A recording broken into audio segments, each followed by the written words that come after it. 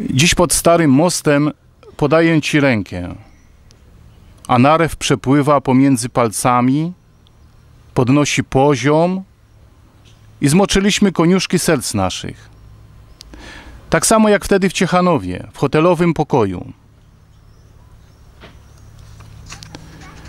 gdzie gotowane jajko do twojej kanapki doczekało świtu, jednak kurpiowskiego.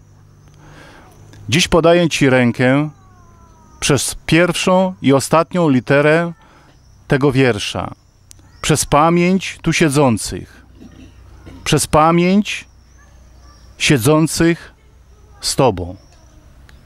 Ostrołęka, 19 września 2006 roku.